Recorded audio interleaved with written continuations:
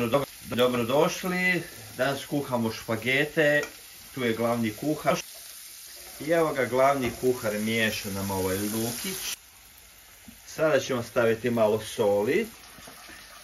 Uglavnom, danas ću vam pokazati kako jedna šestogodišnjakinja može skuhati ručak, bolonjez kuha. I šta smo sad napravili? Meso. Meso. I evo ga, idemo dalje. Šta stavljamo to? Šta je to? E, crvena paprika. Crvena paprika, ok. Šta sad stavljamo? Papaj. Bibe. Šta još ide? E, Šta je to? Pokaži tu da vidimo. Da vidimo šta je to. To je... Bosiljak. Pogledajte vi kako se to miješa. I evo ga. Šta je to? I sada ide unutra origano od e, Luigi Buffone i ravno iz Italije. I još malo to sve lijepo izmiješamo. I idemo staviti paradajz unutra. Kako se to kaže? Palat? Palete? Palete? I evo ga, kuhamo to negdje otprilike, malo izmiješamo i otprilike za pola sata će biti skuhano. Jel tako kuharu? O, to sad stvarno lijepo izgleda. Vidiš ti ova kuharica kako je to lijepo sve izmiješala.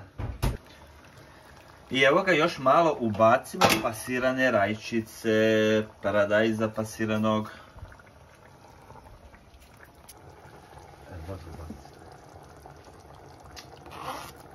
I evo ga, stavljamo bijelog luka.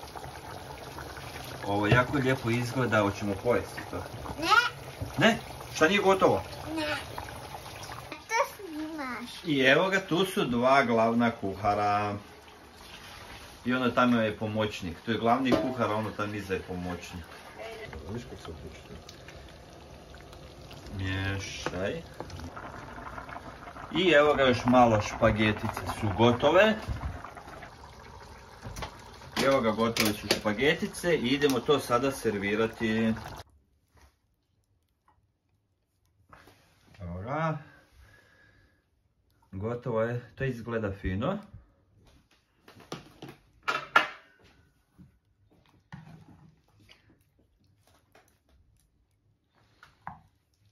Njam, njam.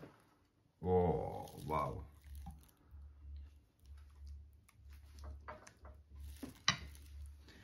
I od ozgod ćemo staviti malo parmezana, ribanog sira.